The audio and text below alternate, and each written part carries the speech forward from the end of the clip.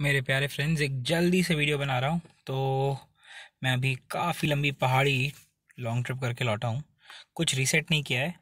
घर से निकलने से पहले मैंने टंकी फुल कराई थी और सब ज़ीरो किया था। तो मैंने अपनी गाड़ी टोटल चलाई है तैंतीस घंटे पंद्रह मिनट, ठीक है? और मेरी गाड़ी ने बिना रीसेट किए लखनऊ से निकल के मुक्तेश्वर जाके, घूम के लौटने के बाद वापस अपने घर आया हूँ। तो माइलेज दिया है 18.6 पेट्रोल पेट्रोल में विद एसी ऑन जिसमें पहाड़ की बहुत सारी टफ बहुत टफ ड्राइविंग थी। और टंकी तो मैंने फुल करा ली थी। इसके अलावा बता देता हूँ कि मेरी गाड़ी टोटल कितने किलोमीटर चली है। तो मेरी गाड़ी इस पूरी ट्रिप पर ऑलमोस्ट एक हज़ार किलोमीटर चल गई। और ये जो 200 की रीडिंग आप देख रहे हो, ये मैंने पिछली बार टंकी फुल कराई थी तो एक पॉइंट कम होने पे आई थिंक उससे कोई मतलब नहीं, एक हज़ार किलोमीटर गाड़ी चली।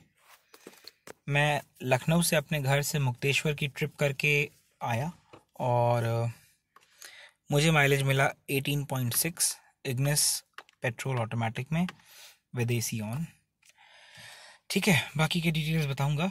ट्रिप अच्छी रही। बहुत भयानक पहाड़ियों की राइड थी और मुझे कहीं कोई पावर की प्रॉब्लम गाड़ी पीछे आना, चढ़ने में दिक्कत होना या सोचना कि मैं गियर बदलूँ, ऐसा कुछ नहीं हुआ। मस्त ऑटोमेटिक गाड़ी और बढ़िया रहा।